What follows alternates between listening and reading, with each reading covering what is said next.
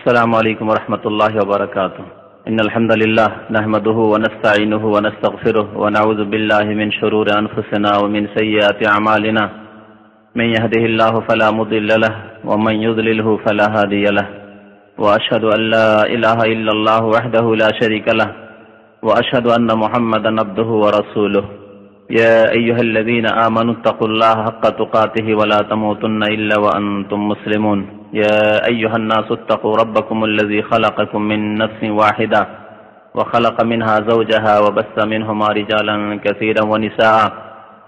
واتقوا الله الذي تساءلون به والأرحام. إن الله كان عليكم رقيبا. يا أيها الذين آمنوا اتقوا الله وقولوا قولا سديدا. يصلح لكم أعمالكم ويغفر لكم ذنوبكم. ومن يطع الله ورسوله فقد فاز فوزا عظيما. أما بعد فإن خير الحديث كتاب الله وخير الهدي هدي محمد صلى الله عليه وسلم وشر الأمور محدثاتها وكل محدثة بدعة وكل بدعة ضلالة وكل ضلالة في النار. أعوذ بالله من الشيطان الرجيم. بسم الله الرحمن الرحيم. يا أيها الذين آمنوا أطيعوا الله وأطيعوا الرسول ولا تبتلوا أعمالكم মহান আল্লাহ রব্বুল আলমিনের সমস্ত প্রশংসা যে আল্লাহ আমাদেরকে সৃষ্টি করেছেন এবং আমাদের জন্য দিন ইসলামকে মনোনীত করেছেন এবং সেই দিনকে পূর্ণাঙ্গতা দান করেছেন দরুদ সালাম নাজিল হফি নবী মোহাম্মদ রসুল্লাহ সাল্লাহ আলী সাল্লামের উপর যিনি এই দিনকে কমপ্লিট রূপে সুন্দরভাবে মানব জাতি পর্যন্ত পৌঁছে দিয়েছেন। তার বিদায় হজে ঘোষণা করেছেন আল্লাহ রবুল আলমিন আলিয়া আকমাল তুলাকুম দিন আকুম আতমাম তো আলাইকুম নেমাতি ওয়া রদাই তুলাকুম ইসলাম আদিনা তে নবী সাল্লাহ আলী সাল্লাম, এই বিদায় হজে এই আয়াত নাজেল হওয়ার পরে আরাফার খুতবাই উম্মতের কাছে এক লাখ চব্বিশ হাজারের বেশি সাহাবাই কেরাম, যারা অধিকাংশ উপস্থিত ছিলেন এই হজের মাঠে তাদেরকে সম্বোধন করে বলেছেন আল্লাহ মাহাল বাল্লাক্ত বলো, আল্লাহর নাম নিয়ে তোমরা, আমি কি তোমাদের কাছে পূর্ণাঙ্গ দিন পৌঁছে দিয়েছি? সাহাবাই কেরামরা এক বাক্যে বলেছিলেন, ঘোষণা করেছিলেন, স্বীকৃতি দান করেছিলেন আল্লাহ নাম, আল্লাহকে আমরা সাক্ষী রেখে বলছি যে হ্যাঁ অবশ্যই আপনি আল্লাহ প্রদত্ত দিনের পূর্ণাঙ্গ রূপে তবলিগ করে দিয়েছেন মানব জাতি পর্যন্ত সুন্দর করে পৌঁছে দিয়েছেন। আল্লাহ সাল্লি আলী আল্লাহ বারেক আলী আজকে রজব মাসের চার তারিখ, চোদ্দশো ছাব্বিশ হিজড়ি এই রজব মাস সম্পর্কেই আজকে আলোচনা করব ইনশাআল্লাহ। এই মাহে রজব চারটি বছরে যে হারাম বা সম্মানিত মাস রয়েছে, প্রাচীন যুগ থেকেই বরং ইসলাম আসার পূর্বকাল থেকেই নবী করিম সাল্লাহ সাল্লামের নবুয়াদ প্রাপ্তির রেসালাতের আগে থেকেই এই চারটি মাস বছরের বারোটির মধ্যে সম্মানিত ছিল মানুষ সমাজের কাছে। মহান আল্লাহ সুরাত এ সম্পর্কে সাদ করেছেন, ইন্না ইদ্দাত শহুর ইন্দাল্লাহ ইসনা আশারা শাহরান ফি কিতাবিল্লাহ ইয়াউমা খালাকাস সামাওয়াতি ওয়াল আরদ মিনহা আরবাআতুন হুরুম। 12টি মাস আল্লাহ রাব্বুল আলমের নিকটে নির্ধারিত রয়েছে। যেই দিন থেকে আল্লাহ আকাশ জমিন সৃষ্টি করেছেন, সেই দিন থেকে বারো মাসে আল্লাহ বছরকে ভাগ করেছেন। তার মধ্যে আর বাতুন হরম, মিনহা আর বাতুন হরম। চার মধ্যে তার মধ্যে চারটি মাস হচ্ছে হারাম মাস, সম্মানিত মাস। হারাম মানে সম্মানিত হয়। আর হারাম মানে প্রাচীন যুগ থেকেই তারা যুদ্ধের প্রয়োজন মনে করলেও, তারা যুক্তিযুক্ত মনে করলেও এই মাসগুলিতে বিরত থাকত। তো এই মাসগুলি সম্মানিত মাস। তার মধ্যে একটি মাস হচ্ছে রাজাব মাস। এই চারটি মাসের তিনটি মাস পর পর রয়েছে।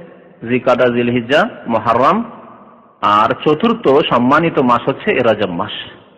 এদিক দিয়ে রাজব মাসের সম্মান রয়েছে। প্রাচীন যুগ থেকে ইসলাম আসার পরে এর হুরমত বা নিষিদ্ধতা, যুদ্ধের এসব রয়েছে কিনা, এ নিয়ে দ্বিমত রয়েছে।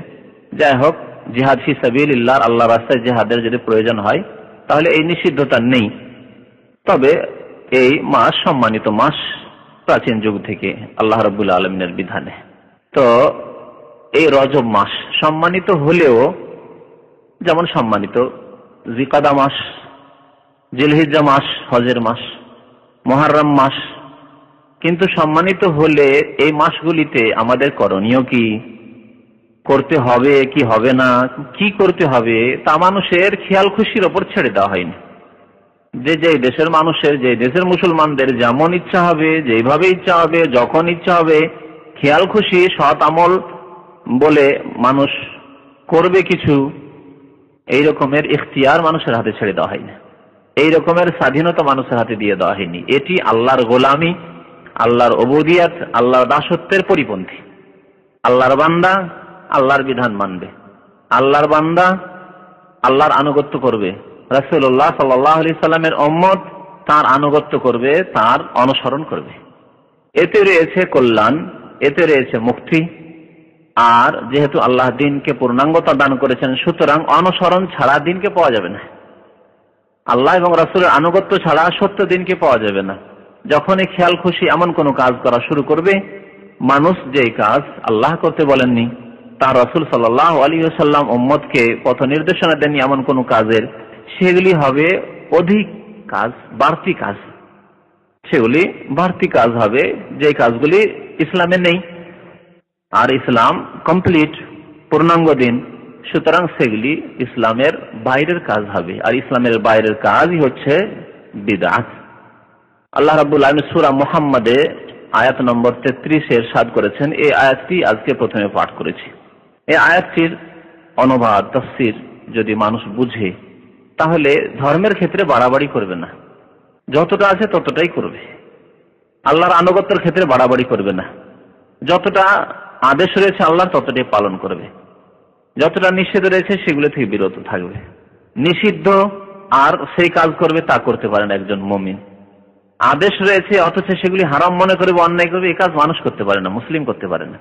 এইরকম রসুল উল্লাহামের আনুগত্য করবে। আল্লাহ রসুল কোনো কাজের আদেশ করেছে না, সেগুলি মনে করবে যে না, সততা হচ্ছে, এগুলি ছেড়ে দেওয়া, ত্যাগ করা। না, এটি ধর্ম বহির্ভূত, নিষিদ্ধ।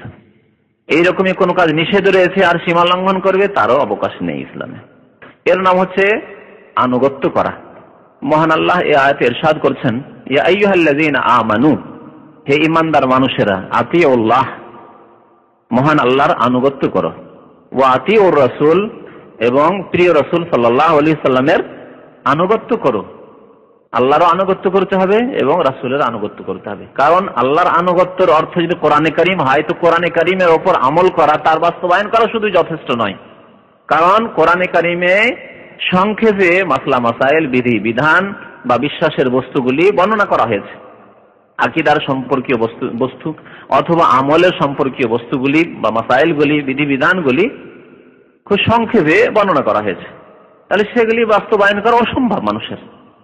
নামাজ, এমন পর্যন্ত নামাজ, রোজা, হজ জাকাত এমন কোন আমল নেই যেগুলি বিস্তারিতভাবে কোরআন কারিমে বর্ণনা করা হয়েছে, হয়নি, সংক্ষেপে বর্ণনা করা হয়েছে। তাহলে আল্লাহর যেমন আনুগত্য করতে হবে, তার সাথে সাথে সেটার বাস্তবায়নের পূর্ণাঙ্গ রূপে বাস্তবায়নের জন্য রসুল রসুল আনুগত্য করতে হবে। আল্লাহ বলেছেন আকিমুসল্লাহ নামাজ কায়েম করো, কেমন করে নামাজ পড়বেন, আরম্ভ কোনখান থেকে, শেষ কোনখানে নামাজের হবে এই কথা কোরআনে খুঁজে পাওয়া যাবে না। এই কথা পাওয়া যাবে প্রিয় রসুল সাল্লাহ আলি সাল্লামের হাদিস শরীফে। সুতরাং ও আতিউর রসুল আল্লাহ বলছেন রসুলের আনুগত্য করো। অনেক হারাম জিনিস রয়েছে, অনেক অবৈধ জিনিস রয়েছে, অনেক করণীয়, অজেব ফরজ রয়েছে, অনেক সুন্নত রয়েছে যেগুলি আল্লাহ রাবুল আলম কোরআন কারিমে বর্ণনা করেননি। সুতরাং ওয়াতি ও রসুল রসুল্লাহ আনুগত্য ছাড়া, হাদিসের বাস্তবায়ন ছাড়া, হাদিসের প্রতি আমল করা ছাড়া, নবী সাল্লামের আদর্শ সুন্নত মোতাবিক জীবনযাপন ছাড়া মানুষ মুসলমান হতে পারে না। তাই আল্লাহ বলছেন আতি উল্লাহ আল্লাহর আনুগত্য করো ও আতি ও রসুল রসুলের আনুগত্য করো। আনুগত্য মানে বুঝতে পারেন নিজের ভাষায়। অনুগত হওয়া মানে একেবারে তাবেদারি করা।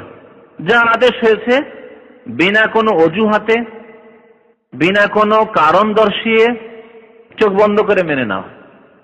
দুই চোখ বন্ধ করে মানতে হবে, একমাত্র আল্লাহ যিনি আমাদের খালেক সৃষ্টিকর্তা, তার বিধান। যেহেতু আল্লাহ বিধান নাজল করেছেন। আল্লাহ আমাদেরকে সৃষ্টি করেছেন। আল্লাহ আমাদেরকে তার এবাদত বন্দীগীর জন্য সৃষ্টি করেছেন। আর রসুল্লাহামের চোখ বন্ধ করে আনুগত্য করতে হবে, কারণ আল্লাহ রাবুল আলমিন মাত্র একজন রসুলের কাছে এই দিনে ইসলাম নাজেল করেছেন। তিনি হচ্ছেন এই দিন জানার জন্য মাধ্যম, অন্য কোনো মাধ্যম নেই। অন্য কোন সূত্র কোনো মাধ্যম নেই, কোনো মিডিয়াম নেই আল্লাহর এই সত্য দিনকে জানার জন্য। সুতরাং রাসুল উল্লাহাম যা বলেছেন দিনের ক্ষেত্রে সব ক্ষেত্রেই তার চোখ বন্ধ করে আনুগত্য করতে হবে।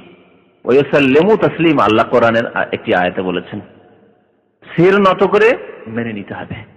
কারণ আল্লাহ বান্দার কাছে কারণ দর্শাবেন, এটার কোনো প্রয়োজন নেই। বান্দার কাজ হচ্ছে আনুগত্য করা। আর যদি কারণ বলতে হয়, তাহলে সেটি আনুগত্য হলো না। আপনার ছেলে, আপনি আদেশ করছেন, যাও বাবা, শিখো, যাও। অমুক জিনিস কিনে নিয়ে এসো। যদি জিজ্ঞেস করে, কেন? আজকে কেন কিনবো? যাও আজকে মাছ নিয়ে এসো। বলছে, আজকে কেন মাছ কিনবো? আজকে কেন সবজি কিনবো? অমুকটাই কেন কিনবো, অমুক কাজ কেনই বা করব না? এটি আনুগত্য নয়। ঠিক কিনা আনুগত্য না। বরং আপনি বলবেন যে, এই নাফরমান ছেলে, অবাধ্য ছেলে, অথচ আল্লাহ পুরোপুরি আপনাকে, পুরোপুরি মালিকানা দেননি আপনার ছেলের ওপর। আংশিক মালিকানা এই যে আপনার ছেলের উপর আল্লাহ আপনাকে কর্তৃত্ব দান করেছেন, এটি আংশিক। সার্বিক ক্ষেত্রে আপনার গোলাম নয়। আল্লাহ গোলামই দান করেন তাকে, যে আপনার সে গোলাম, আপনার ছেলে, আপনার মেয়ে, আপনার গোলাম, আপনার স্ত্রী, আপনার গোলাম, দাসী, না। আংশিক নেতৃত্ব আল্লাহ রব্বুল আলমী দান করেছেন। এই আপনার ছেলে, মেয়ে, আপনার স্ত্রী আপনাকে সেজদা করতে পারবে না। অনেক কাজ আছে, যে কাজগুলি করতে পারবেন। হারাম। তাদের জন্য সেই কাজগুলি করা, বাবার ক্ষেত্রে, স্বামীর ক্ষেত্রে। ঠিক কিনা বলেন? ভাই, কথা হচ্ছে আল্লাহ রাবুল্লাহ আলমী সম্পর্কে যে কোনো কাজ, যে কাজগুলি আল্লাহ করতে বলেছেন, সব কাজ চলবে। সেজদা থেকে শুরু করে, দোয়া থেকে শুরু করে, সবকিছু আল্লাহ রাবুল আলমী করবেন, যেহেতু আপনি, আমি সবাই আল্লাহর গোলাম, আল্লাহর বান্দা। পক্ষান্তরে মানুষ মানুষের কাছে দোয়া করতে পারবে, ফরিয়াদ করতে পারবে পারবে না। শিরিক। তো আল্লাহ বলছেন, আল্লাহর আনুগত্য করো, রাসুলের আনুগত্য করো। তারপরে শেষ কথাটি কি ওয়ালা তুব তেলু আমালাকুম। তোমাদের আমল তোমরা ধ্বংস করিও না। আমলকে বিনষ্ট করিও না। তুব তেলু বাতিল থেকে তোমাদের আমেলগুলিকে বাতিল করে দিও না। কাজকর্মগুলিকে বাতিল করে দিও না। করলে করার পরে ধ্বংস করে দিলে এমনটা কাজ করিও না। বাতিল করে দেওয়া কোনো কাজ করলেন, আর করার পরে হয়তো কাজটা পুরোপুরি হয়ে গেছে অথবা অনেকটাই হয়ে গেছে, এখন হওয়ার পথে ধ্বংস করে দিলেন আপনি। এটা হচ্ছে তুবতেলু নিজের বাড়ি তৈরি করছেন, করতে করতে পাঁচতলা টার্গেট হচ্ছে পাঁচতলা, পাঁচতলাই করে ফেলেছেন, তারপর ভেঙে ফেলে দিলেন। বা তিনতলা, চারতলা হয়ে গেছে, তারপর ভেঙে ফেলে দিলেন আপনার ঘরকে। এটা হচ্ছে তুবতেলু করা, ধ্বংস করে দেওয়া। তা আপনি আমলকে ধ্বংস করিয়েন না, আমল সম্পাদন করে তা ধ্বংস করে দিয়েন না।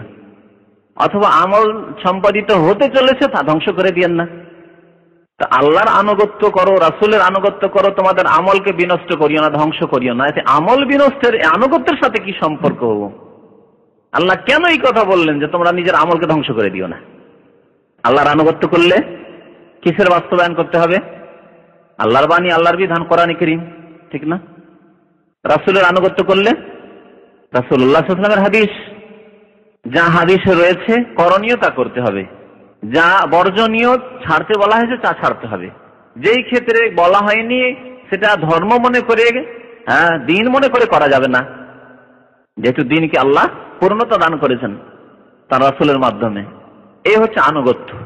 তাহলে আমলকে নষ্ট করিও না, এর অর্থ হচ্ছে যে আল্লাহ এবং রসুলের আনুগত্য ছাড়াও, হয় আনুগত্য করলেন না আপনি, অথবা আনুগত্য ছাড়া, ঠিক আছে, আল্লাহর কথা মানে রসুলের কথা মানি, আর তারপরে আরও কিছু মানি। আল্লাহর কথাও মানি, আর রসুলের কথাও মানি, আর পীরের কথাও মানি। হ্যাঁ বুজুর্গানের দিনের কথাও মানি, অলিয়া উলিয়া মাসায়কদের কথাও মানি, অন্ধভাবে। কোরআনে অনেক হাদিসে নেই, তো কিসে আছে? ওই বড়রা করেছেন, বড়রা বলেছেন বুজুর্গানের দিন এটিকে মুস্তাহ মনে করেছেন হ্যাঁ? আল্লাহর অলিয়া উলিয়া ওলামা মাসায়ক এগুলি কথা লিখেছেন, উল্লেখ করেছেন, এগুলি হচ্ছে ওয়ালা তুবতুল আমাল আমলকে ধ্বংস করা। এগুলি হচ্ছে আমলকে ধ্বংস করা। কারণ আগে বলেছি যে আল্লাহ দিনকে কি করেছেন? কমপ্লিট করেছেন। আকমাল তোলাকুম দিন আকুম তারপরে যদি আপনি সংযোজন করেন যে না, আমার মুক্তির জন্য আমার অলমা মাসায়কদের কথাও কিছু মানতে হবে, বুজুর্গানি দিনের কথাও কিছু মানতে হবে, তাদের তরিকাও মানতে হবে, তাদের দুরুদ পড়তে হবে, তারা রজম মাসে কি করেছে তাও করতে হবে, তারা সবানে কি করেছে তাও করতে হবে। তাহলে আপনি আল্লাহর দিনের বাস্তবায়ন করলেন না, আল্লাহ এবং রসুলের আনুগত্যে, আপনার আনুগত্যকে সীমিত রাখলেন না। আপনি আল্লাহ এবং রসুলের অনুগত বান্দা নন, বরং আপনি আরও অনেকের অনুগত দাস। অলাতুল আমাল আমল ধ্বংস করিও না। তাহলে কি বোঝা যাচ্ছে? সুন্নত মোতাবেক, অর্থাৎ নবী করিম সাল্লা সাল্লামের আদর্শ হাদিস মোতাবেক জীবনযাপন, এটা হচ্ছে আমলকে সুন্দর করা। আর সন্ন্যত বহির্ভূত কাজ করা, অর্থাৎ নতুন কোনো কাজ করা, যা আল্লাহ এবং তার রসুল করতে বলেননি। বিদাতি কাজ করা হচ্ছে আমলকে ধ্বংস করা। যে কোনো নতুন কাজ করা, ধর্মের নামে ধর্মের নামে কিন্তু মনে রাখতেন দিনের নামে আল্লাহর সন্তুষ্টের জন্য পরকালের মুক্তির আশায় কোনো কাজ করা। অথচ আল্লাহ এবং তার রাসুল এইরকম কোন নির্দেশ দান করেননি, হৃদায়ত দান করেননি, এইরকম কোনো পথ বাতলাননি।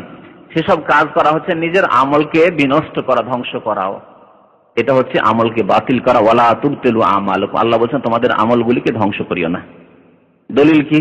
দলিল বোখারি মুসলিমের হাদিস রয়েছে।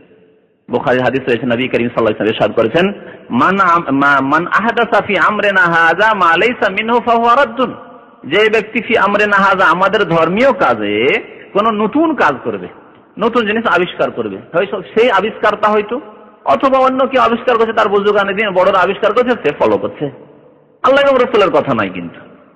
যে ব্যক্তি নতুন কিছু ফি আমরে নাহাজ আমাদের ধর্মীয় ব্যাপারে আবিষ্কার করল মালাই সামিন যেটা ধর্মীয় কাজ নাই আল্লাহ এবং রসুলের বিধানে নাই। কোরআনে নেই, সহি সুন্না সহি হাদিসে নেই। সেটি কি? ফাহুয়ারাদ্দুন সেটি হচ্ছে প্রত্যাখ্যাত, মারদুদ রেজেক্টেড এই যে বাতিল। আল্লাহ বলছেন, ওয়ালা তুবতুল আমালক, আমলকে ধ্বংস করিও না। তার আমল ধ্বংস। রাদ্দুন মানে তার আমল ধ্বংস। মারদুদ তার মুখে ছুড়ে দেওয়া হবে। ফেরেস তার আমল নামে নেকি না লিখে লিখবে যে বিদাত, এই বিদাত করল সে। বিদাতের যে গুণা হয় যে কোনো বিদাতি কাজ ফাঁসে কি কাজ? আর যদি সেটি শিরিক এবং কুফরি পর্যন্ত পৌঁছে সেই বিদাতটি তাহলে সেটি হচ্ছে শিরিক কুফরি কাজ। আর এমনি যদি সাধারণ থেকে সাধারণ বিদাত হয়, তাহলে সেটি হচ্ছে ফাঁসে কি কাজ? তাহলে ফেরেস্তা আমল নামে লিখতে আছে, এই বিদাতি এই রজব মাসে এই নতুন কাজটি করল সাবান মাসে এই নতুন কাজটি করল, যেটি আল্লাহ এবং রসুল করতে বলেন। ভাবলো যে, আমার নেকি বলল। এত রাখাত নামাজ পড়লাম, এতটি রোজা রাখলাম, এই করলাম, সেই করলাম, এই ভাই এই নিয়মে আমি ওজিফা পড়লাম নেকি করলাম, কিন্তু আসলে নেকি হলো না। তার আমলকে ধ্বংস করল। আরেকটি হাদিস মুসলিম শরীফের নবী করিম সাল্লাম এরশাদ করেছেন, কারণ আমরা অনেকে যারা বিদাত করে থাকি, তারা বিদাতের আবিষ্কারটা নয়, কিন্তু বিদাতি কাজকে ফলো করি। বিদাতিরা বিদাত আবিষ্কার করেছে, ওই বুজুগানের দিন যাদেরকে মনে করা হচ্ছে তারা ওই বিদাতগুলি তৈরি করেছে, এবং সেগুলিকে আমরা অন্ধভাবে ফলো করি। সেগুলি বিদাতি কিতাবাদিতে রয়েছে, যেগুলি আমাদের দেশের ধর্মীয় পুস্তক, তার অধিকাংশ পুস্তকগুলির অবস্থা ওই রকম আর সেগুলি অন্ধভাবে পড়ি দলিল নেই রেফারেন্স নেই, কোনো সনদ নেই, কিচ্ছু নেই, আর অন্ধভাবে সেগুলি পালন করি। তাহলে তাদের ক্ষেত্রে কি বলেছেন? তারা কীভাবে আমলকে নষ্ট করে? মান আমেলা আমালান, নবী বলছেন, মান আমেলা আমালান, যে ব্যক্তি কোন আমল করল আমল করল বে আমল নয় বে নামাজি নয়, সে নামাজি, সে ধার্মিক, তার ধর্মে ধার্মিক বিদাতি ধর্মে ধার্মিক, আমল করল।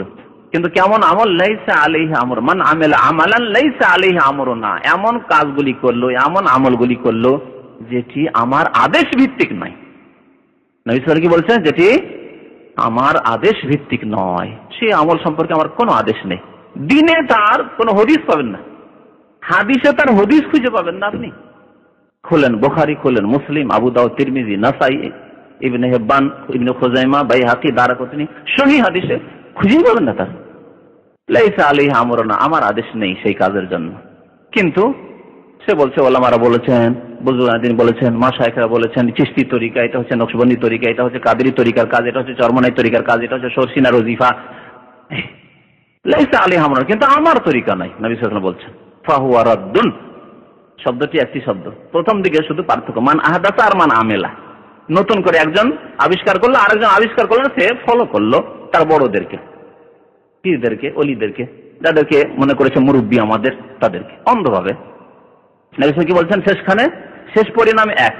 ফাহরাদ্দুন সেটা প্রত্যাখ্যাত তার মুখে ছুঁড়ে মারা হবে। কবুল হবে না। ওয়ালা তুলতেলু আমাল আল্লাহ বলছেন, তোমাদের আমলকে ধ্বংস করিও না। আরেকটি কথা এখানে মনে রাখবেন যে, যারা আল্লাহ এবং রসুলের আনুগত্য ছাড়াও, এমনটা নয় যে একেবারে আল্লাহ রসুলের আনুগত্য করে না, তারা করে। আল্লাহ এবং রসুল আনুগত্য করে, কিন্তু তার সাথে সাথে আরও অনেকের আনুগত্য করে। তারা কালকে আমাকে বড় আক্ষেপ করবে।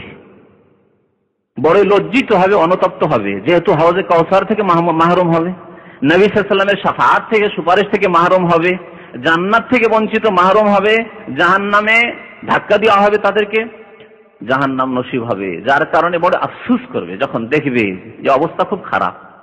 অনেক কাজ করেছিলাম। আরে ফরজ, অজিব তো আদায় করেছিলাম, নামাজ, রোজা, হজ জাকাত তো করেছিলাম, কিন্তু এমন কোন মাস নেই যে যাতে ওজিফা করিনি, এবাদত বন্দী করিনি। কত না এবাদত বন্দী করলাম, তারপরেও শেষ পরিণাম জাহান্নাম। কত না আল্লাহর, আল্লাহকে ডাকলাম, আর কত না যাকে বুজুর মনে করেছে, তার তরিকাতেই চললাম যে এই পথেই হয়তো মুক্তি আছে, এই পথেই মুক্তি আছে, এই পীর হয়তো মুক্তি দেবে। কিন্তু শেষ পরিণাম সাফাত থেকে বঞ্চিত হয়ে গেলাম। শেষ পরিণাম হজে কসারের পানি থেকে মাহরুম হয়ে গেলাম। আল্লাহ আকবর। যখন এই অবস্থা হবে, তখন যে আক্ষেপ করবে, সেই কথাটি আল্লাহ সুরা ফুরকানে উল্লেখ করেছেন। এই আয়াতগুলি শুনুন। মহান আল্লাহ ইরশাদ করেছেন ওয়াইয়াউমা ইয়াআযযু যালিমু আলা ওয়াইয়াউমা আলা জালেম সেই দিন। সেই দিন মানে কোন দিন? কেয়ামতের দিন। কেয়ামতের দিনে জালিম যে ব্যক্তি, যে অন্যায় করেছে, অত্যাচার করেছে, যে বিদাত করেছে এতে যেমন অন্য অন্য পাপীরা সামিল, তেমন বিদাতি পাপি সামিল। আর বিশেষ করে বেদাতি পাপির ক্ষেত্রে আয়াত প্রযোজ্য, কারণ পরের আয়াতে বলা হয়েছে যে আলাই তানি ইত্তাখাল তো মার রসুল সাবিলা। হায় আফসুস, হায় আমার পতন হোক, ধ্বংস হোক, আমি এত হতভাগ, আমি রসুলকে বাদ দিয়ে অন্যকে ফলো করেছিলাম। তাহলে এর থেকে বোঝা যাচ্ছে যে সে অন্য পাপের পাপি না, আসলে বিদাত পাপের পাপি সে। বুঝতে পারছেন? এই বিদাতি যারা ধর্মের ক্ষেত্রে আল্লাহ এবং রসুলের বিধানের অতিরিক্ত কাজ করবে। আর মনে করবে, এই সবের কাজ করছি বড় নেকির কাজ করছি। আমার মতো আল্লাহর এবাদত বন্দী করেনা কে রয়েছে? আমার মতো এবাদত গুজার কে রয়েছে? এত নফল এবাদত করি, আর দেখি না কাউকে করতে সব প্রত্যেক মাসে আমার খাস খাস ওজিফা রয়েছে, আমল রয়েছে।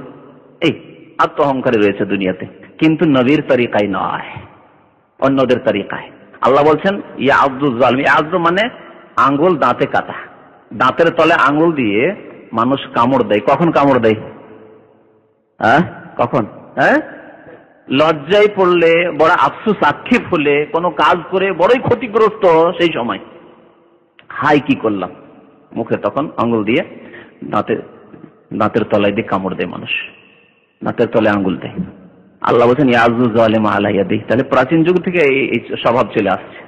আর আরবদের এরকম সহজ যেহেতু আরবদের ভাষায় কোরআন প্রথম নাজল হয়েছে, সুতরাং আরবদেরকে এই কথাটি সহজে বোঝাবার চেষ্টা করা হয়েছে। আল্লাহ রাবুল বলছেন ইয়াজুজ জালেম হাতের আঙ্গুলকে কামড় দেবে, আল্লাহ ইয়াদি, হাতে কামড় দেবে, হাতের আঙ্গুলে কামড় দেবে। আর কি বলবে আক্ষেপ করে? ইয়াকুল বলবে ইয়ালাইতানি ইত্তাখালতু মার রাসূল সাবিল আফসুস, যদি এই রসুলের সাথে আমার পথ অবলম্বন করতাম, রসুলের সাথে থাকতাম রাসুল্লাহ সাল্লাহ আলী সাল্লাম শেষ রাসুল। তখন উপলব্ধি হবে যে হাই, এখন আর সাফাত তো রসুল ছাড়া কারও চলবে না।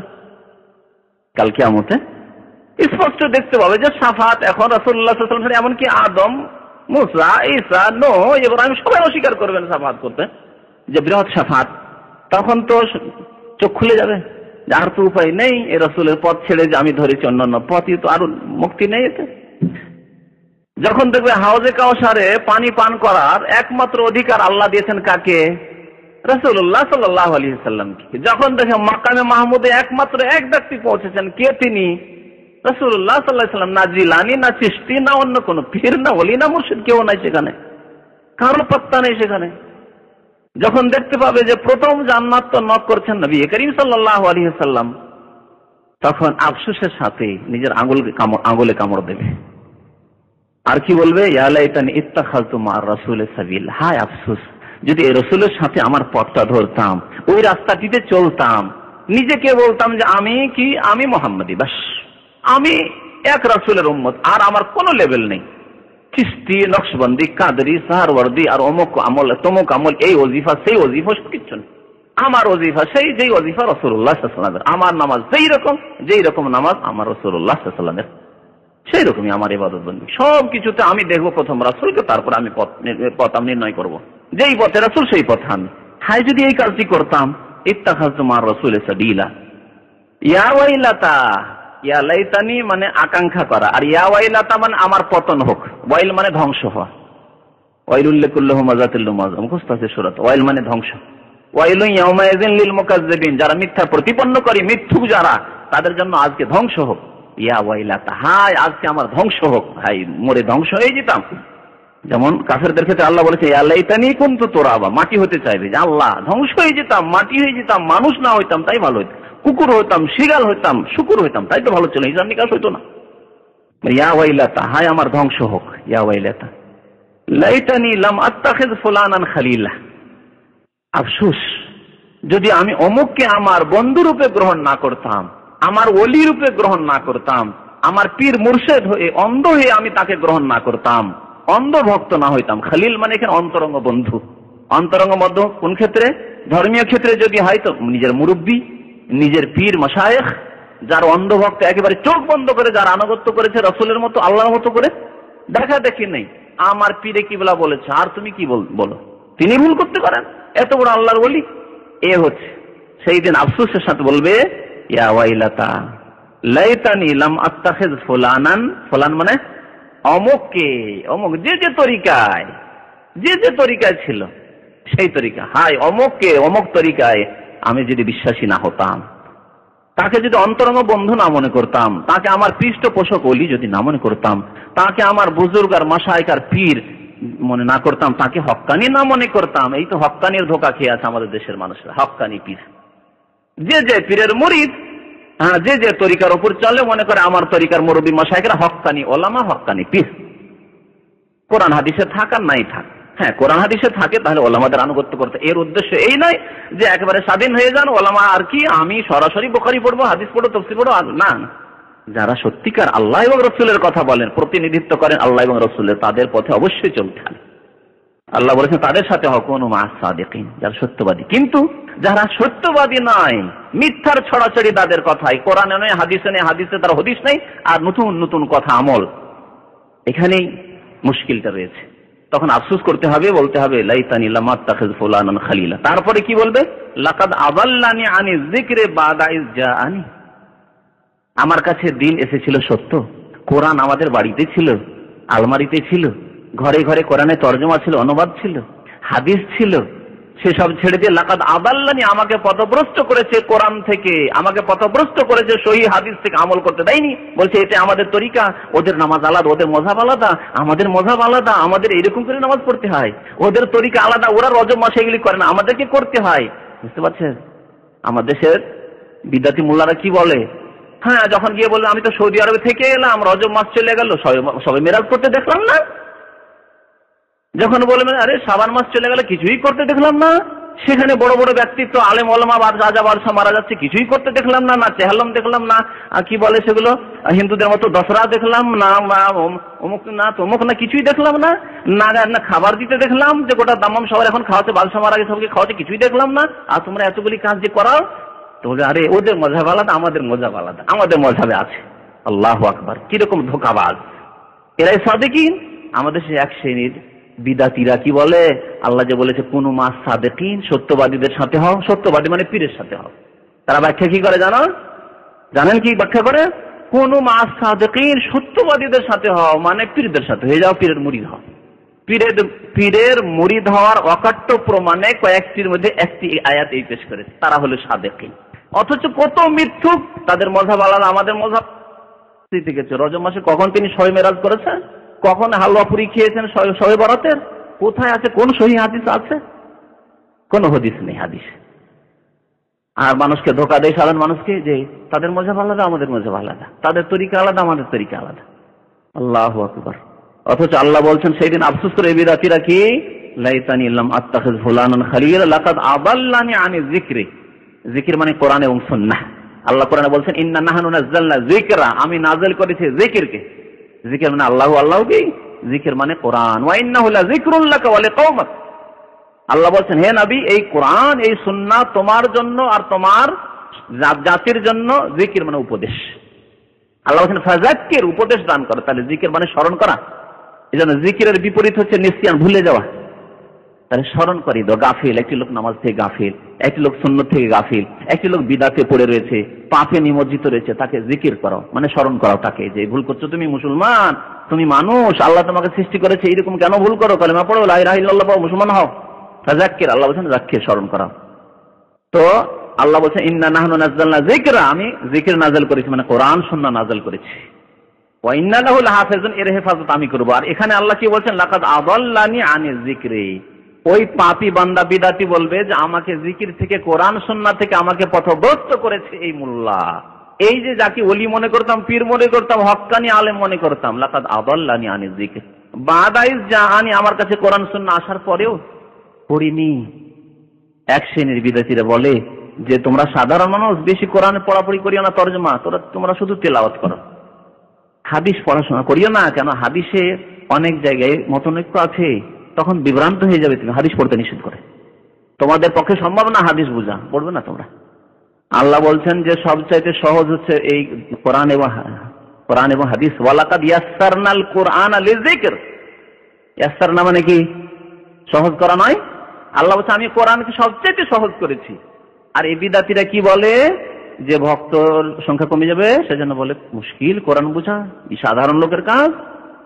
আমরা আঠারো বছর, বিশ বছর পড়েছি, মুফতিয়ানা পাশ করেছি, তারপরেও বুঝতে হিমশিম খাচ্ছি, বুঝতে পারি না, তুমি কোথাকার? হ্যাঁ? কোন ক্ষেত্রে তুমি মূলা, যে তুমি সব কথাবার্তা বুঝবে?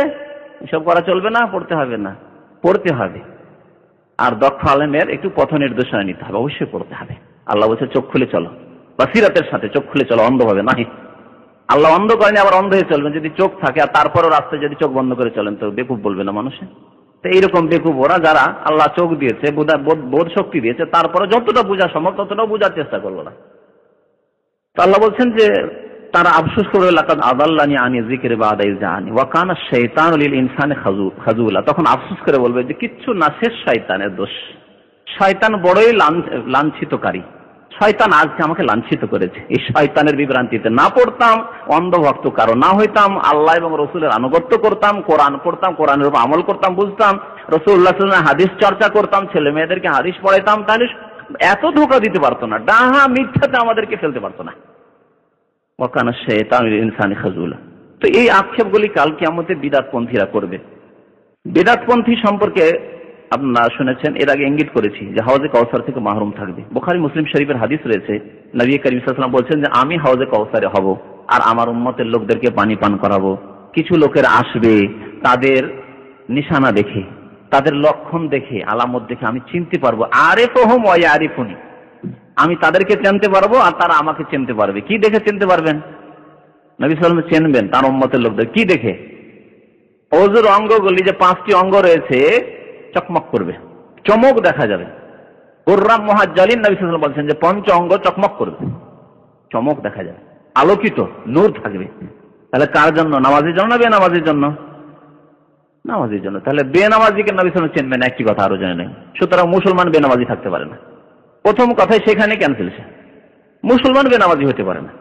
আরে নামাজি হয়, আর ভুল ভ্রান্তি হয়তো আল্লাহ মাফ করতে পারে। কারণ তাকে চেনা যাবে যে মুসলমান। আর যে নামাজ পড়েন সে উজু করেনি সেই জন্য নবী সাল্লাম তাদেরকে চেনবেন না। চেনবেন উজুর অঙ্গগুলি দেখে। চকমক করছে, চমক দেখা যাচ্ছে, নূর আলোকিত, উজ্জ্বলময়। নবী সাল্লাম চিনতে পারবেন। কিন্তু নামাজ পড়া সত্ত্বেও, উজু করা সত্ত্বেও, এই চমক থাকা সত্ত্বেও, এই নূর আলো থাকা সত্ত্বেও কি হবে?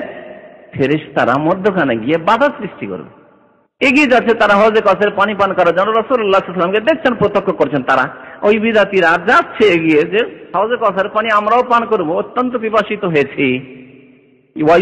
দুনি, আমার মাঝে হঠাৎ করে অন্তরায় হয়ে দাঁড়াবেন ফেরেস্তারা ফেরেস্তারা মেরে মেরে তাড়াবে তাদেরকে। মেরে মেরে তাদেরকে ভাগাবে? নবী সাল্লাম তখন ফেরিস তাদেরকে সম্বোধন করে বলবেন, ওসাই হাবি ওসাই হাবি, এরা আমার সঙ্গী আমার সঙ্গী, আমার উম্মতের লোক, আসতে দাও আসতে দাও। চলে আসতে দাও আমার কাছে। তখন ফেরেস তারা প্রতি উত্তরে কি বলবেন? হে নবী, আপনি জানেন না। তাহলে বোঝা যাচ্ছে যে নবী আলেমুল গাইব নন। আমাদের বেলের রেজুরা বলে যে নবী সবকিছু জানেন। অতীত, ভবিষ্যৎ, বর্তমান সবকিছু জানেন তিনি। আপনি জানেন না। মা আহদাসু বাদাক, আপনার পরে কি কি এরা বিদাত করেছে? মা আহদাসু, নতুন নতুন কাজ করেছে ধর্মের নামে এরা। ধর্মের নামে রজব মাসের কত কি পালন করেছে সাবান মাসে কত কি পালন করেছে, মহরম মাসে কত তাজিয়া করেছে। আর মরে গেলে মানুষের কত রকমের কাজ করেছে নতুন, কবরের কাছে কত রকমের বিদাত করেছে, কত যে বিদাত এরা করেছে। মা আপনি জানেন না। ইন্নাকে লাতাদি তখন ফেরেশতারা কি বলবেন? যে না না ফেরেস্তা তো বললেন এই কথা, তাই না? নবী কি বলবেন? হ্যাঁ? ফেরেস্তাদেরকে বলবেন না, ছেড়ে দাও, এরা মুসলমান, এরা আমার অমত আসতে দাও। বলবেন? কি বলেন সোহকান সোহকান লেমান বদ্দালা দিন। সোহকান মানে দূরে হয়ে যাক, দূরে হয়ে যাক, দূরে তাড়িয়ে দাও, দূরে তাড়িয়ে দাও লেমান ওই ব্যক্তিদেরকে যারা আমার দিনকে বদ্দালা মানে বদলিয়ে দিয়েছে, পরিবর্তন করেছে, বিকৃত করে দিয়েছে। রজ মাসে আমি করতে বলি তারা করেছে, বিকৃত নয়। সাবান মাসে ইসলামে নেই, তাদের ইসলামে আছে, বিদাতিদের ইসলামে আছে। হ্যাঁ? হালুয়া রুটি খাওয়া, রাত্রি যাপন করা, কবরস্থান আলোকিত করা, মৃত চলে আসবে আকিদা। হ্যাঁ যারা মারা গেছে তারা বাড়িতে আসবে আজকে। ইত্যাদি ইত্যাদি।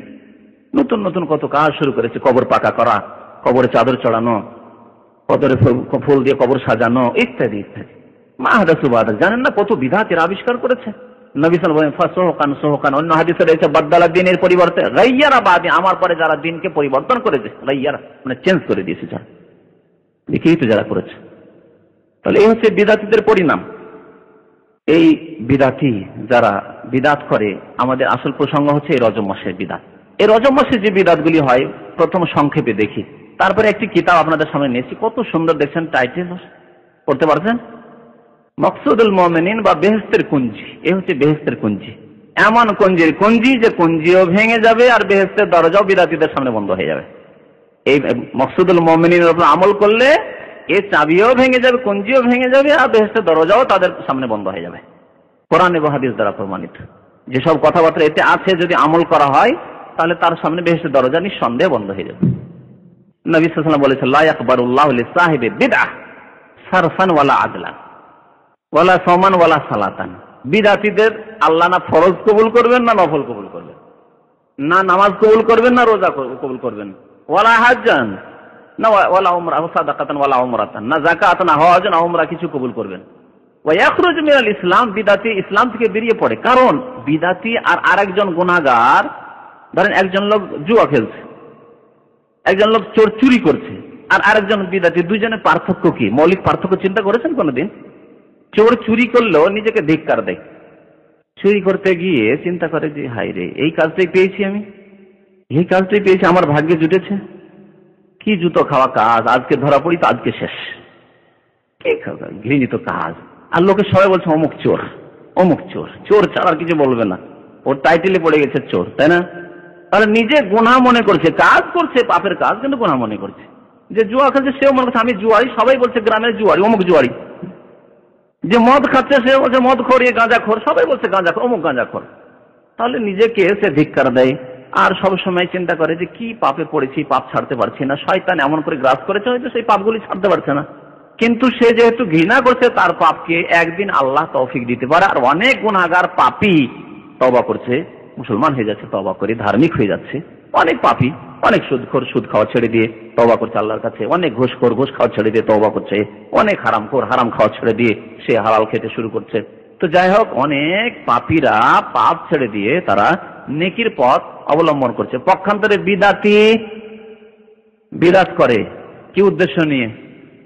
সবের উদ্দেশ্যে গুণা হবে এই কথা ভাবে না, বরং বড় বড় স্বভাব হবে। এমন স্বভাব যে আমার আগে জান্নাত যায় কে? এই এক রজবের এই দু চারটা আমলে যে রজবের যে আমলগুলি বিদাতিক আমল রয়েছে, এর মাধ্যমে ভাবে যে সালাস আর সারা বছর নামাজ পড়ি আর না পড়ি, জান্নাতের কাজ তো হয়ে গেছে। পড়ে শোনালে বুঝতে পারেন কেমন জান্নাতের কাজ রয়েছে। একটা গোসুল শুধু। আরে আমল তো বাদ দেন। এই মকসুদুল মমিনের বরকত শোনাচ্ছি আপনাকে। একটা গোসুলের কথা শোনাবো। একটি গোসুল একটা রাতে করতে হবে। তিনটা রাতের কথা লিখেছে। এই রজব মাসের তিন রাতে যদি কেউ গোসুল শুধু করে, সেই গোসুলে কি হবে জানেন? হজের মতো সব হজে কি সব রয়েছে? সেও হজ যদি কবুল হয় না বলছে, আল হাজুল মাবরুর সমস্ত হজে নয়। আল হাজুল মাবরুর। কেউ যদি এমন হজ করে আসে যে হজ মকবুল হয়েছে, তাহলে রাজা ওয়ালাদাথুম মায়ের পেট থেকে জন্মে ভূমিষ্ঠ হয়ে যেমন এসেছিল নিষ্পাপ হয়ে ওই রকম নিষ্পাপ হবে। এই কিতাবের বরকত হচ্ছে যে একটা গোসল যদি রজম মাসে দিতে পারেন, একটা ডুব দেন গিয়ে পুকুরে। হ্যাঁ সমুদ্রে গিয়ে দেন ডুব গিয়ে এই সামনে কর্নিশে গিয়ে। এই রজম মাস চলছে এখন। কি হবে জানেন? বলছে, মায়ের পেট থেকে যেমন নিষ্পাপ হয়ে ওই গোসলের কারণে সে নিষ্পাপ হয়ে যাবে। এতে রয়েছে। এই হচ্ছে মকসুদুল মমিনের এই হচ্ছে জান্নাতের কুঞ্জি কোন জান্নাতের কুঞ্জি এই দাজ্জালের জান্নাতের কুঁজি বুঝতে পারছেন দাজ্জালের সম্পর্কে এই গত দুই, এক সপ্তাহ আগে শুনিয়েছি না। দাজ্জালের জান্নাত হচ্ছে জাহান্নাম, আর জাহান্নাম হচ্ছে জান্নাত। ওইটাই মনে করবে যে বেহেস্তের কুঞ্জি মানে ওই দাজ্জালওয়ালা বেহেস্তের কুঞ্জি কিন্তু। ভালো করে মনে রাখবেন তো এই বিদাতি কাজগুলি সংক্ষেপে শোনাই, তারপর ওখান থেকে পড়ে শোনাব। বেদাতি কাজগুলির প্রথম কাজ যেটা গোসুল বললাম লিখেছে রজ মাসের গোসুল খুব স্বভাবের কাজ। মাত্র তিন দিন গোসুল। ফরজ গোসুল করেন আর না করে ওই তিনটে দিন গোসুল অবশ্যই করবেন। বুঝতে পারছেন? কারণ যদি একজন বেনামাজি হয়, তাহলে ফরজ গোসলের কি প্রয়োজন? বলুন তো দেখি। কোনো প্রয়োজন আছে? যে ব্যক্তি বেনামাজি, সে তো মসজিদ যাবে না। তাহলে ফরজ গোসল করার প্রয়োজন নামাজ পড়ার জন্য? মসজিদে যাওয়ার জন্য? সে কোরআন তেলাওয়াত করবে না। ফরজ নামাজ পড়ছে না, তাহলে কোরআন তেলাওয়াতের কি তার প্রয়োজন? তিনি অফুল কাজ। তাহলে গোসলের প্রয়োজন কিসের জন্য? নামাজ পড়ার জন্য, মসজিদে অবস্থান করার জন্য, কোরআন তেলাওয়াত করার জন্য, কোরআন স্পর্শ করার জন্য। সে তো নামাজই পড়ে না। তাহলে ওইসব গোসল না করে যদি এই মকসুদুল মমিনওয়ালা গোসল করেন, এই দাজ্জালি গোসল, তাহলে এতে কাজ হয়ে গেল। এ হচ্ছে এক বিদাতি আমল হচ্ছে গোসল করা রজব মাসে। দ্বিতীয় হচ্ছে রাগায়েবের নামাজ পড়া। আর আরেকটি লিখেছে, রাত্রি যাপন ইস্তিস্তার রাত্রি। সবিনা করা মানে রাত্রি জাগরণ। রাত্রি জাগরণ ইস্তিস্তার পড়ে শোনাবো কি বলতে চাইছে সে। আর দেখবেন তার দলিলগুলি, বুজুর্গানের দিন আমাদের ওলামা মাসায়েক আউলিয়া মাসায়েক এগুলি কথা বলুন। কি বলছে সেটাকে? মেয়ারাজ। মেয়েরাজের রাত্রি যাপন। মেয়েরাজের রাত্রি কোনটি?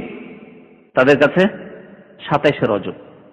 সাতাইশে রজব হচ্ছে মেয়েরাজের রাত। তাদের কাছে আর এই মেয়েরাজের রাত্রি যাপন করা মানে রাত্রি এবাদত বন্দি করা, নামাজ পড়া, জিকির করা এইসব তসবি করা, এ হচ্ছে মুক্তির কাজ। আর আরেকটি কাজ হচ্ছে এই রজব মাসে বেশি বেশি উমরা করা। বেশি বেশি উমরা করা। এই কয়েকটি কাজ, মোটামুটি চারটি কাজ সংক্ষেপে। আরও এছাড়া অনেক কাজ রয়েছে, তাদের কাজের শেষ নেই, কারণ বিদাতিতে তো আর কোনো স্টেশন নেই। যারা সুন্নত মোতাবেক চলবে, তাদের ব্যাপারটা হচ্ছে যে আমাদের এখানে খালাস বর্ডার চলে এসছে, থামতে হবে। বর্ডার আল্লাহ বলছেন হদুদুল্লাহ, আল্লাহর হদুদ মানে আল্লাহর বর্ডার আছে। তাহলে কোরআন সুন্নাতে করণীয় বর্ডার আছে, এই এই কাজগুলি করা চলবে। এই কাজগুলি করা চলবে একটা বর্ডার আছে। কিন্তু বিদাতির তো বর্ডার নেই। যে কোনো কাজ করতে পারে। বলে দিলেই হলো, যে আমাদের ওলামা মাসাইখরা বলেছে, আমাদের বুজুর্গরা করেছে, লিখে দিলেই হলো। এই মেয়ের প্রথম কথা তাহলে মেয়েরাজের গুরুত্বপূর্ণ যে বিষয়টি তারা পালন করে রজব মাসে, সেটা হচ্ছে মেয়েরাজ। মেয়েরাজের রাত্রি যাপন, সবে মেয়েরাজ যাকে বলে। সব মানে রাত আসলে, ফার্সি ভাষা। যেমন সবে কাদার রমজান মাসে রয়েছে শরীয়ত সম্মত সুরা কাদারে, আল্লাহ বলেছেন, লাইলাতুল কাদারের কথা, সবে কাদারের কথা। কিন্তু এই সবে মেয়েরাজের কথা কোরআন হাদিসে কোথাও নেই। মেরাজ হয়েছে নবী করিম সাল্লাহ সাল্লামের কিন্তু কোন দিন হয়েছে এই সম্পর্কে ছয়টি উক্তি রয়েছে। উক্তিগুলি সংক্ষেপে শোনাই। একটি হচ্ছে যে নবাতের প্রথম বছরে নবী সাল্লাহ সাল্লামের মেরাজ হয়েছে। মানে যে বছরে নবী হলেন চল্লিশ বছর বয়সে, নবী সাল্লাহ সাল্লামকে সেই বছরে আল্লাহ মেরাজে নিয়ে গেলেন। আর তখনই কি হয়ে গেল তাহলে? মেরাজে পাঁচক্ত নামাজ ফরজ হয়েছে কিনা? তাহলে ধরে নিতে হবে যে মেয়েরাজে যখন নবী সাল্লাম গেছেন, তখনই পাঁচক্ত নামাজ ফরজ হয়ে গেছে। তাহলে এই কথার ভিত্তিতে ধরে নিতে হবে যে নামাজ ফরজ হয়ে গেছে, আল্লাহ রসুলের চল্লিশ বছর বয়সে। এই কথা সাধারণ মানুষ বলবে যে ঠিক নয়। দ্বিতীয় উক্তি হচ্ছে যে নবুয়াতের পঞ্চম বছরে, অর্থাৎ নবী হওয়ার পাঁচ বছর পরে, পঁয়তাল্লিশ বছর বয়স যখন নবী সাল্লাহ সাল্লামের তখন মেরাজ হয়েছে। তৃতীয় উক্তি হচ্ছে যে নবুয়াতের দশম বছরে, অর্থাৎ আল্লাহ রসুলের নবী হওয়ার দশ বছর পরে, পঞ্চাশ বছর যখন বয়স নবী সাল্লাহ সাল্লামের তখন সাতাইশ রজবে কি হয়েছে? মেরাজ হয়েছে। এই তিনটি উক্তি ঠিক নয়। তিনটি উক্তি ঠিক নয়। দলিল শুনে নেন।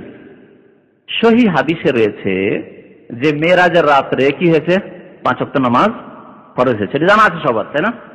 আরেকটি সহি হাদিসে রয়েছে যে হজরত খাদিজা রাজি আল্লাহ তাল আনহা, নবী সাল্লাহ সাল্লামের প্রথম স্ত্রী, খাদিজা রাজি আল্লাহ তাল আনহা নামাজ ফরজ হওয়ার পূর্বে ইন্তেকাল করেছেন। এই ক্ষেত্রে কোনো দ্বিমত নেই। খাদিজা রাজি আল্লাহ তালানা পাঁচ অক্ত নামাজ পড়ার সুযোগ পাননি, সময় পাননি। মানে পাঁচ অক্ত নামাজ যে নাজিল হবে মেরাজে, তার আগেই তিনি ইন্তেকাল করেছেন। কথা বুঝতে পারছেন কিনা? তাহলে সর্বসম্মতিক্রমে এই কথাটি দুইটি কথা মনে রাখেন। একটি হচ্ছে যে পাঁচ অক্ট নামাজ ফরজ হয়েছে মেরাজে, সর্বসম্মতিক্রমে। সর্বসম্মতিক্রমে দ্বিতীয় কথা হচ্ছে যে খাদিজা রাজি আল্লাহ তালানহমুল মমিনের হ্যাঁ ইন্তেকাল হয়েছে নামাজ না পড়ে মানে নামাজ তখন ফরজ হয়নি। নামাজ তখনও ফরজ হয়নি। আর একটি কথা সহি সূত্রে প্রমাণিত সর্বসম্মতিক্রমে যে খাদিজা রাজি আল্লাহ তালানা ইন্তেকাল হয়েছে নবুয়াতের দশম বছরে রমজান মাসে। রমজান মাসে ইন্তেকাল হয়েছে। তো খাদিজা রাজি আল্লাহ তালানা দশম, নবুয়াতের দশম বছরে ইন্তেকাল করছেন। আর কোন মাসে বললাম? রমজান মাসে।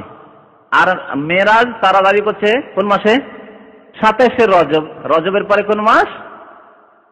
সাবান বলছেন না কেন? সাবানের পরে রমজান। তাহলে সাতাইশে রজবের পরে সাবান আসলে তারপর রমজান। রমজান মাসে ইন্তেকাল করছেন খাদিজা রাজি আল্লাহ আর খাদিজা রাজি আল্লাহ নামাজ পড়ার সুযোগ পাননি। তাহলে মেরাজ কি সাতাইশে রজব হয়েছে দশম বছরে? নবুয়াতের? মেরাজ হয়নি। এখন মনে হয় ভালো করে বুঝতে পারেননি। বুঝতে পেরেছেন?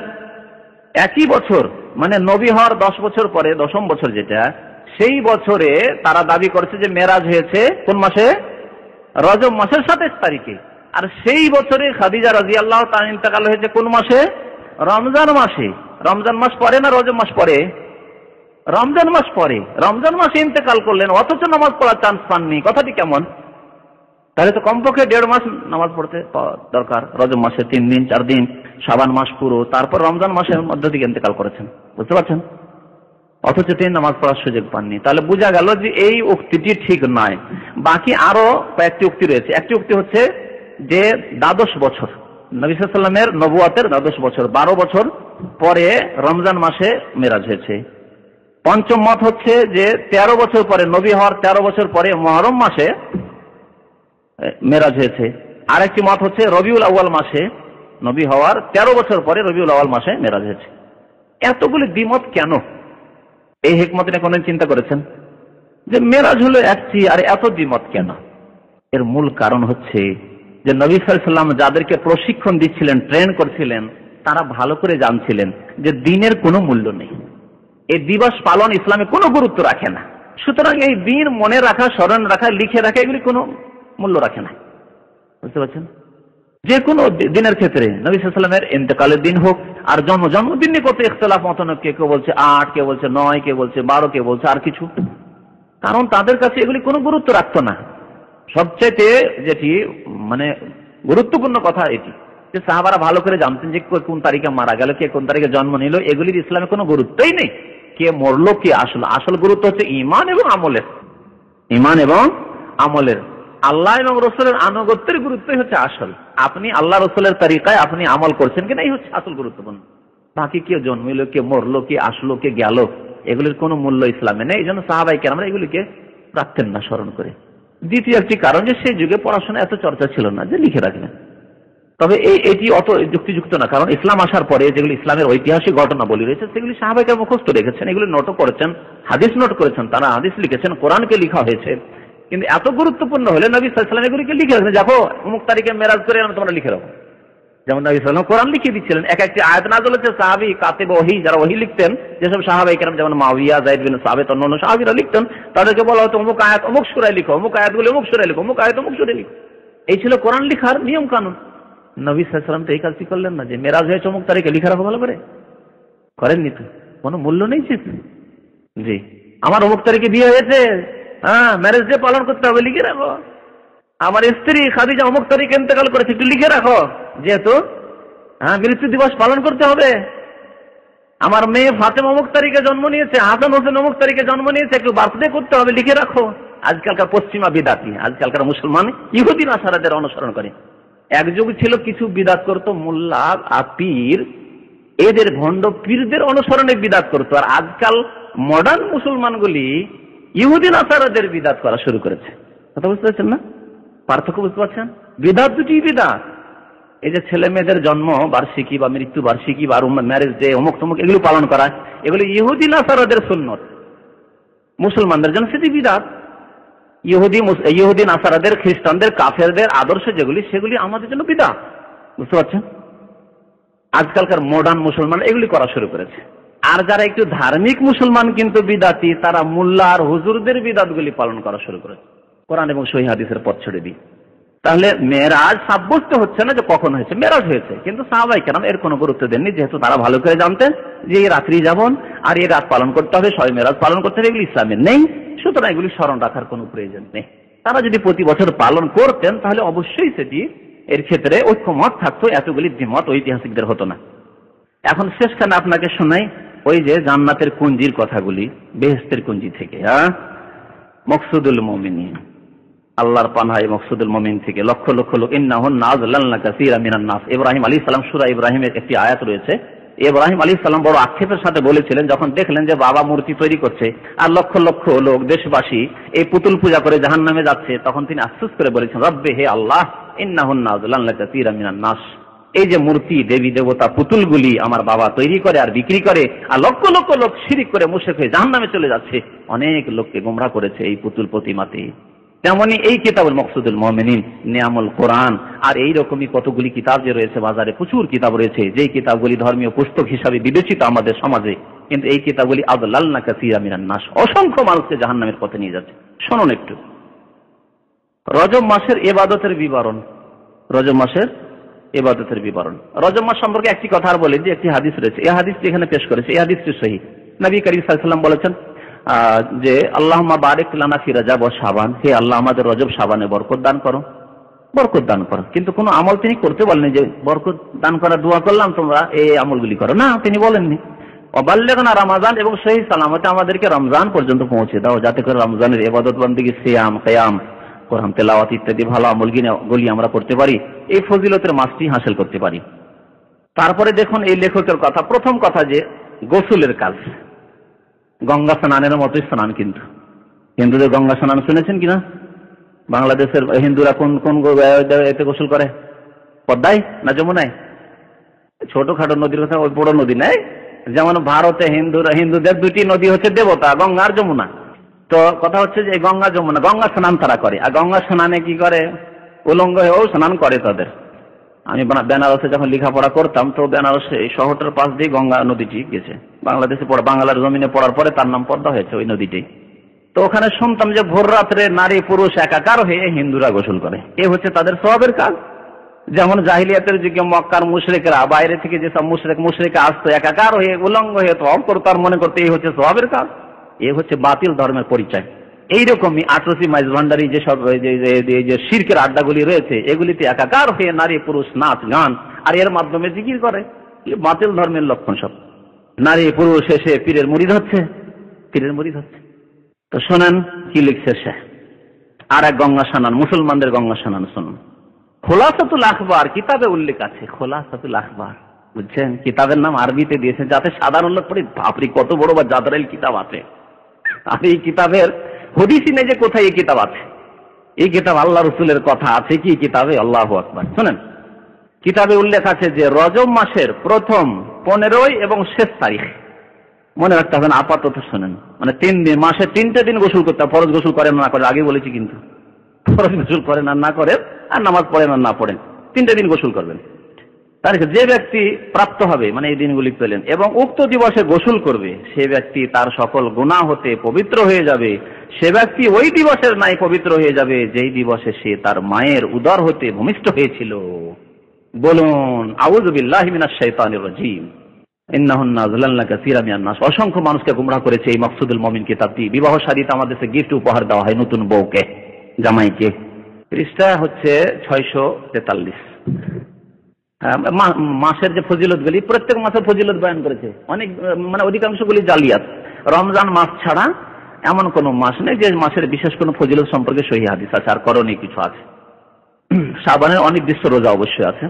তাছাড়া বাকি প্রত্যেক মাসের এই বিদা- বিদাতগুলি বর্ণনা করেছে।